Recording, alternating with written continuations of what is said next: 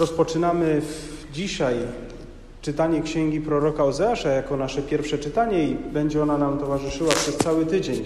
Podobnie jak było w tygodniu minionym, czytaliśmy Amosa, teraz przyszła kolejna Ozeasza.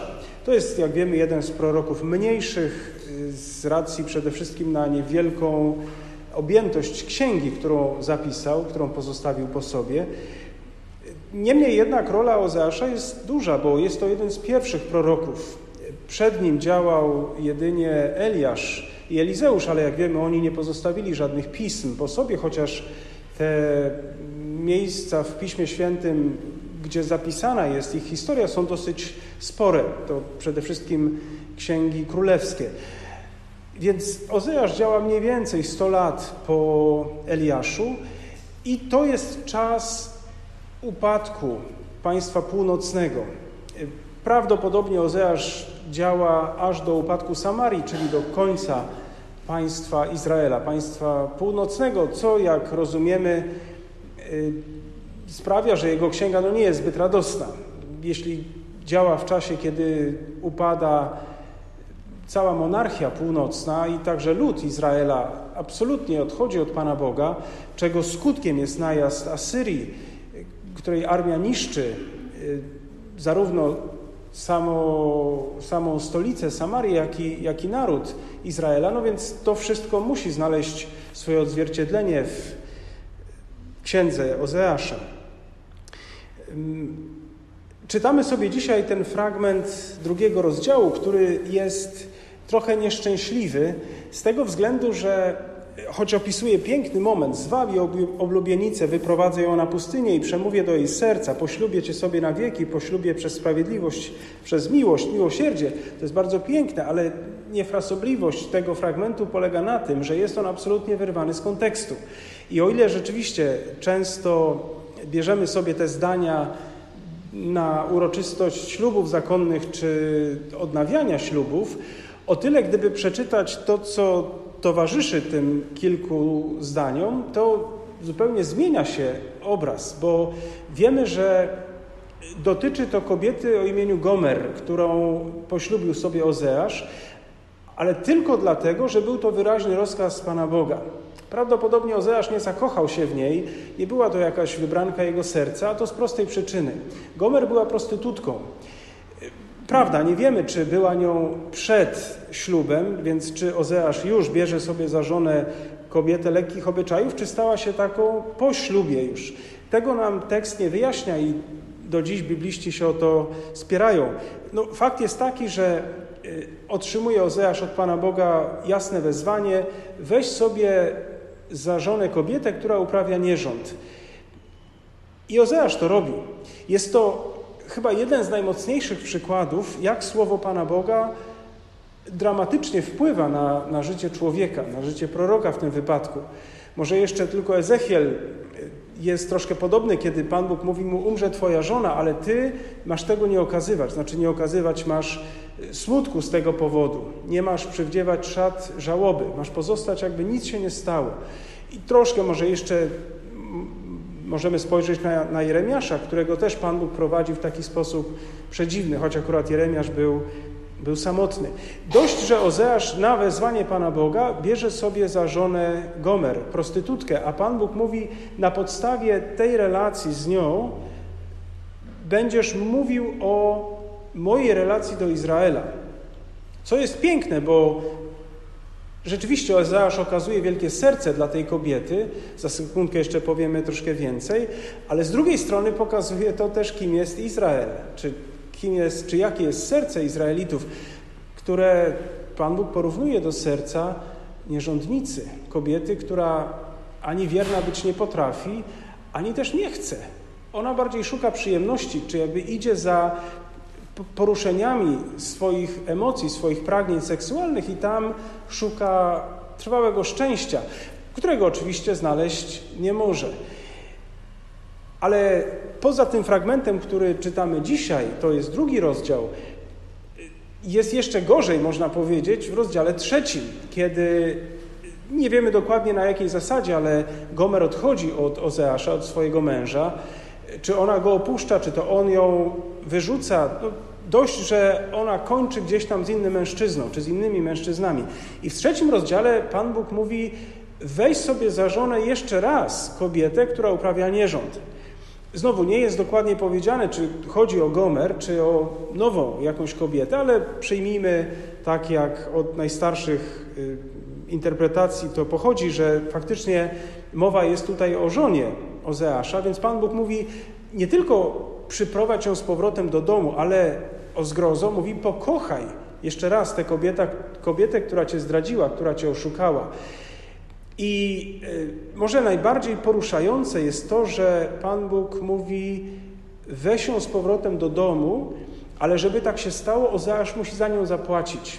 Tam mamy dokładnie nawet podaną kwotę 15 cykli plus co nieco jęczmienia. Co niektórzy bibliści rozumieją jako kwotę, którą normalnie płaci się według prawa za niewolnika. I znowu nie do końca wiemy, dlaczego musi płacić za swoją żonę. Czy dlatego, że stała się żoną innego, ale to byłoby bardzo dziwne, bo prawo nie zakłada tego, by y, wykupić swoją żonę. Zresztą żonę oddaloną, kobietę oddaloną nie wolno było brać po raz drugi jako żonę. Ale być może chodzi o to, że Gomer przez swoje zachowanie wpadła w jakieś długi. Więc po prostu trzeba było spłacić jej, jej wierzycieli, tych, którzy pieniądze jej pożyczyli. Albo może stała się y, już prostytutką dosłownie, czyli po prostu wpadła w takie tarapaty, że y, potrzebowała pieniędzy, żeby przeżyć bez Ozeasza, bez swojego męża, więc znowu y, jakoś tam trzeba było jakieś pieniądze wpłacić, aby była wolna, aby mogła wrócić do domu. W każdym razie Ozeasz, mówiąc nieładnie, za swoją własność, czyli za własną żonę, płaci znowu.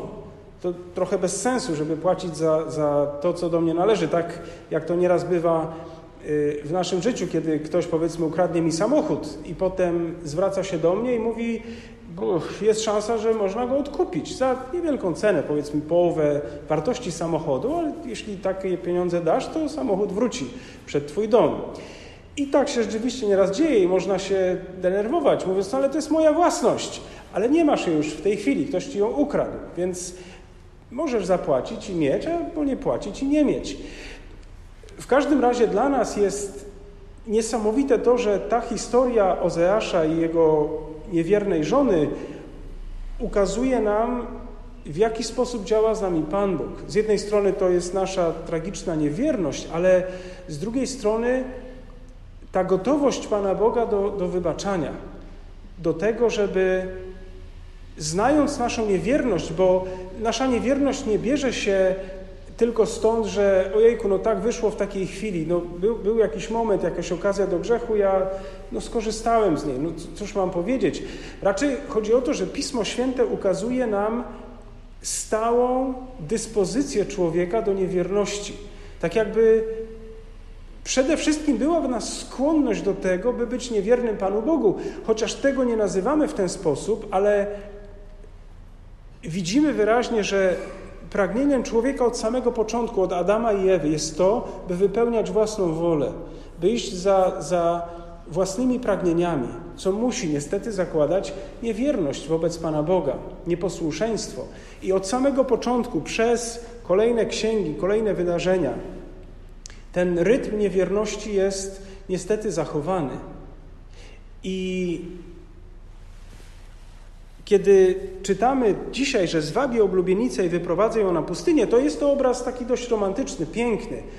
Oczywiście nawiązuje tutaj do wyjścia z Egiptu, do, do wędrówki przez pustynię i, i w tym akurat y, fragmencie jest ta wędrówka przez pustynię ukazana dosyć pozytywnie, jako czas, kiedy Izraelici słuchali Pana Boga, kiedy żyli niejako w miłości oblubieńczej, ale my wiemy, że tak cudownie nie było, że tam się też pojawiają bardzo poważne grzechy Izraela, jak choćby złoty cielec, który no, jest zdradą absolutną, jest, jest wybraniem sobie kogoś innego, a nie Pana Boga, tak jakbym ja, a to było króciutko po wyjściu z Egiptu, więc tak jakbym ja po poślubieniu mojej y, żony, z którą jestem powiedzmy miesiąc czy dwa, za chwilę poszedł sobie i dwa dni spędził, czy bardziej dwie noce z jakąś inną kobietą. Więc dosłownie kilka tygodni czy miesięcy po ślubie takie działanie byłoby szokujące.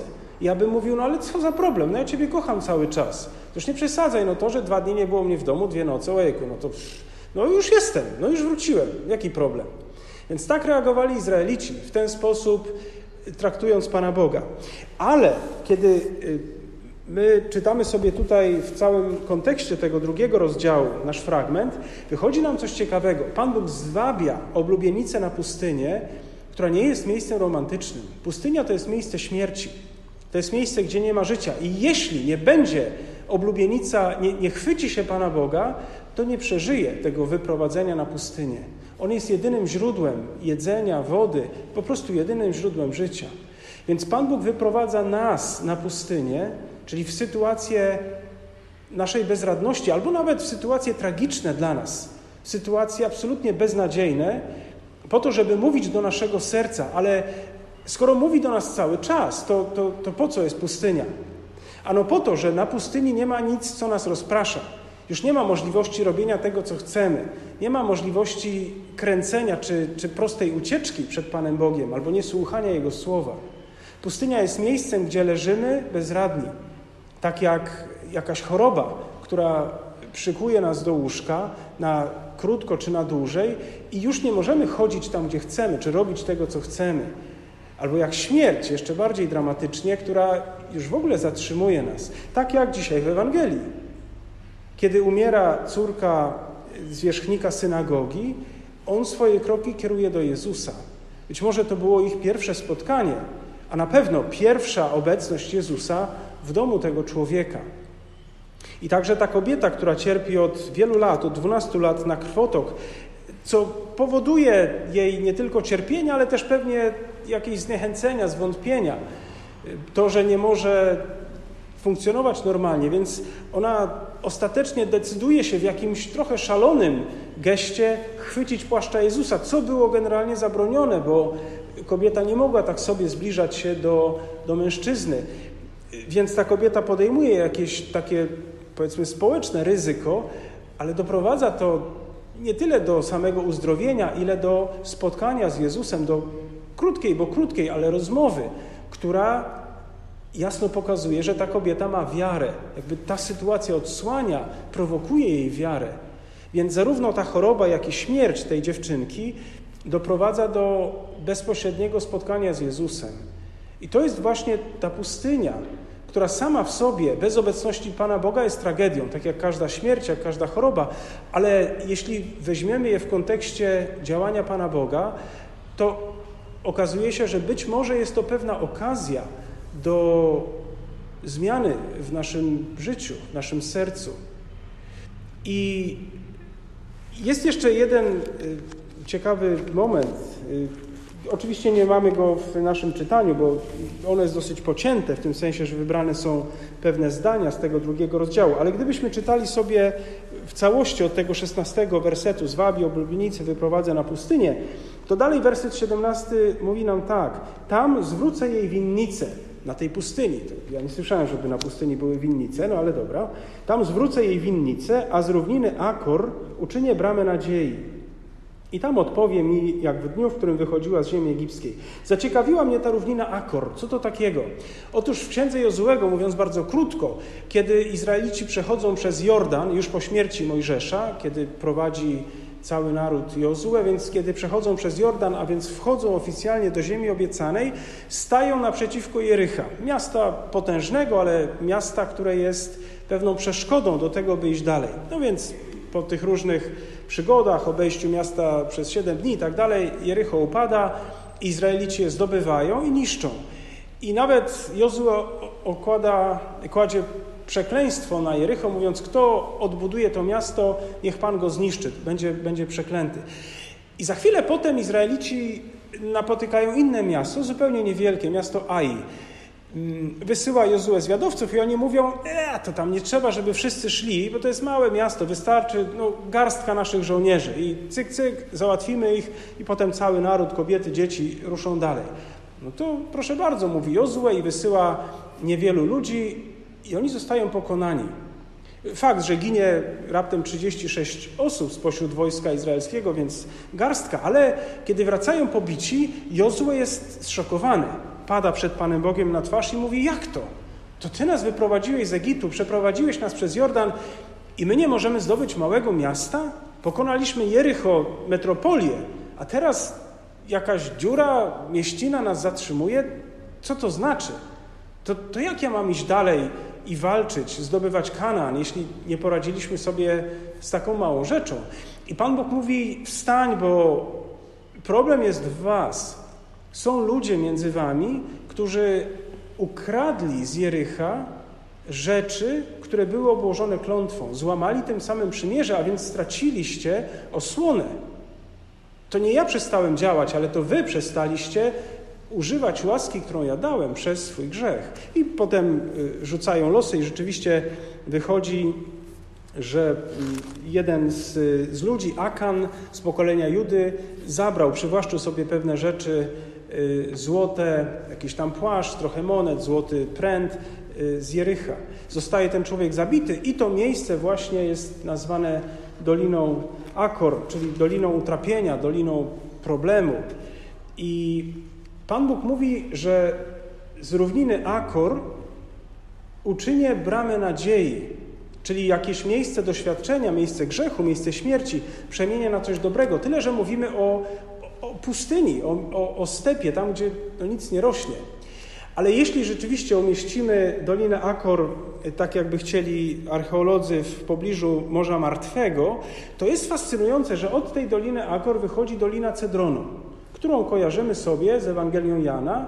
Za potok Cedron wychodzi Pan Jezus z uczniami po Pasrze i rzeczywiście ta Dolina Cedronu dochodzi aż do Jerozolimy. Tak jakby Pan Bóg mówi, z tej równiny Akor, czyli z miejsca klęski, śmierci, uczynię drzwi, bramę, wejście do błogosławieństwa, do nadziei. Jakby idąc tą doliną dojdziecie do Jerozolimy, tam gdzie umiera Jezus, tam gdzie oddaje swoje życie tak, abyśmy my mogli żyć, aby pokonać nasze choroby, naszą śmierć. Więc dzięki miłosierdziu Pana Boga, dzięki Jego łasce, nawet to, co naturalnie jest dla nas nie do przezwyciężenia, staje się miejscem błogosławieństwa. Pan Bóg nie tylko obiecuje, no dobra, od teraz będzie troszkę lepiej w Twoim życiu, będzie łatwiej.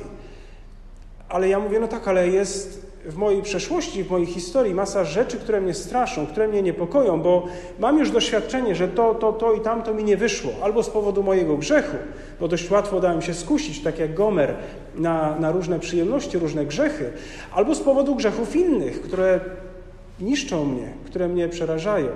Pan Bóg mówi, ale ja mam moc, aby zmienić to, co było w przeszłości, aby tę dolinę Akor zamienić na bramę nadziei żeby nie tylko sprawić, dobra, już nie pamiętaj tamtych rzeczy, już wymazujemy je z pamięci. Nie, nie, możesz o nich pamiętać, bo one staną się bramą nadziei, miejscem, w którym będziesz mnie odkrywać. To jest przedziwna moc miłosierdzia Bożego, która zmienia nawet to, co jest z natury złe, w coś dobrego. Potrafi zrobić to tylko Pan Bóg. Zmienić to, co działo się w mojej przeszłości, w źródło nadziei, czy w bramę nadziei. Więc Pan Bóg będzie na pewno wyprowadzał nas na nasze pustynie, w te nasze miejsca doświadczeń, trudów, ale po to, żeby mówić do naszego serca, bo tam już nic nam nie będzie przeszkadzało. Tam będziemy zmuszeni niejako e, skupić się na Panu Bogu, zacząć Go słuchać. I choć no, nie jest to miłe działanie, e, pustynia nie jest też miejscem fajnym, to jest to jedyny sposób, żeby dotrzeć do naszych serc żebyśmy wreszcie zaczęli słuchać, ale dzięki temu, by Pan Bóg mógł zmieniać to wszystko, co w nas jest chorobą, cierpieniem, śmiercią, w takim znaczeniu duchowym, aby nas uzdrawiać, aby przemieniać nas z Gomer, choć brzmi to strasznie i, i, i tak drastycznie, by nasze serca, z serca Gomer przemieniać na serce oblubienicy, bo tak ono zostało stworzone. Twoje serce jest od samego początku w zamyśle Pana Boga sercem Jego oblubienicy, ale nasze decyzje, nasze sposoby myślenia, działania zmieniają nas z oblubienicy w Gomer, ale Pan Bóg ma moc, aby na nowo uczynić z nas tych, których chce mieć których stworzył na początku. Niech Pan obdarzy Was spokojem.